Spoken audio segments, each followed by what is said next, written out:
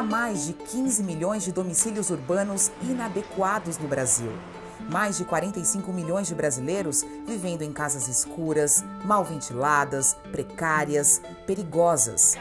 Nelas, o vírus é quem manda. Você mandar uma pessoa dessa para casa, você está cometendo um crime.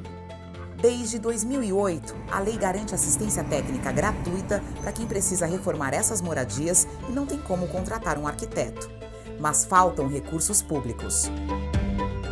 Essa lei ela precisa sair do papel.